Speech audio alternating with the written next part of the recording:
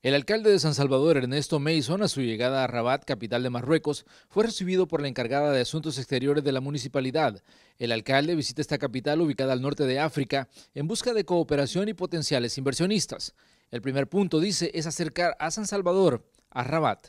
Y el día de mañana pues vamos a tener el honor de firmar eh, con eh, el alcalde de Rabat un convenio de cooperación y hermanamiento para dentro del la intención de seguir internacionalizando la ciudad de San Salvador y abrirla al mundo, eh, también creemos interesante eh, poder lograr atracción de inversión. Vamos a tener aquí también en nuestra visita a Marruecos eh, una serie de reuniones con importantes inversionistas, empresarios de este lugar que están interesados a explorar inversiones en, El Salvador y también poder lograr abrir nuestra ciudad para un intercambio turístico que pueda haber también con gente de esta ciudad. La cooperación se ha convertido en un factor fundamental para las municipalidades, ya que permite acercarse y conocer experiencias de desarrollo de otros países. San Salvador está buscando una mayor proyección ante el mundo. Rabat, la capital marroquí, tiene aspectos muy similares a San Salvador, considerando la cantidad de habitantes y el territorio.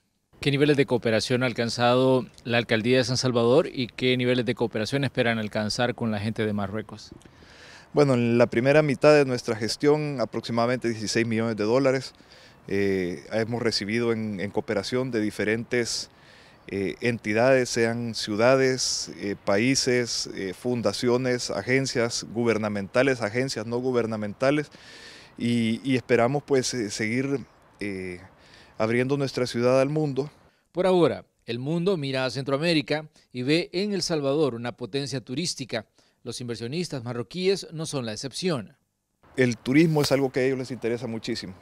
Eh, de hecho, habrán empresarios eh, del área turística, hotelera, que están interesados en un, en un primer término poder invertir en El Salvador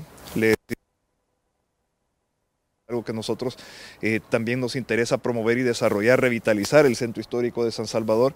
Les interesan las playas de nuestro país también. El proyecto que tiene el gobierno del Sur City es algo que puede ser interesante para ofrecer un destino turístico dentro del continente de, esta zona.